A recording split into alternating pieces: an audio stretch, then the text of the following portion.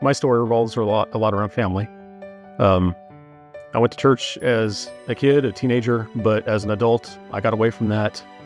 After high school, I joined the military, got married, had kids. Things were kind of tough for a while there. Uh, me and my wife both wanted to get back into going to church. We were very, uh, pretty poor, having a difficult time making ends meet, and we avoided daycare by raising our kids ourselves when one of us wasn't working, the other one was. The downside to that was that we had no free time. Uh, we didn't even have time for each other. We never had a day off together. Um, and when we made the move to Oregon to have a change of pace in our lifestyle so we could have more time for each other, um, but a few weeks after we moved here, she died. My kids were very young at the time, so I spent the next 15 years raising them on my own. I felt a drive or pull to find a new church somewhere, but I was so busy being a full time dad. Eventually, the kids grew up, they left home to start their own lives. My youngest left home two years ago. I didn't know what I was going to do with myself. Although I still felt that drive to go to a church, any church, but I didn't know where to go. And then one day I found out about Family Church.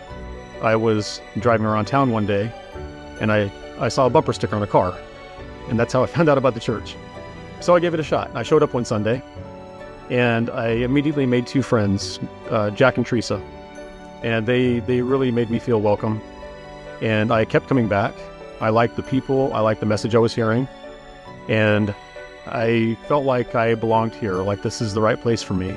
Something I'd been looking for for a long time, and that's that's why I've, I've continued coming back. Now I never thought about being baptized before. Uh, I wanted to go back to a church for many years, but that never occurred to me to do that until I started coming here.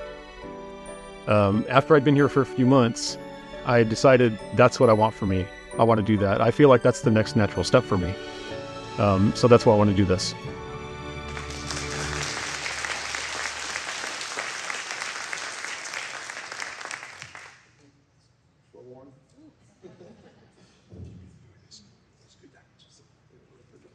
All right, this is Russ. I'm going to pray for Russ. Lord, thank you for Russ. Just the journey he's been on, the journey that has included suffering and hurt. Through it, he has seen you in your presence, Lord. Thank you that you have walked with him during the valleys of life, and that you have guided him to a place where he has relationship with you. Thank you that you can work through something as small as a bumper sticker uh, to, to help people grow in their relationship, help people to, to see your work in their life. Lord, I pray that uh, Russ continues his steps of faith, that he continues growing in you. Thank you. Amen. All right. Prayer goes. Russ, I baptize you in the name of the Father, Son, Holy Spirit, buried like Jesus, born again to walk with me.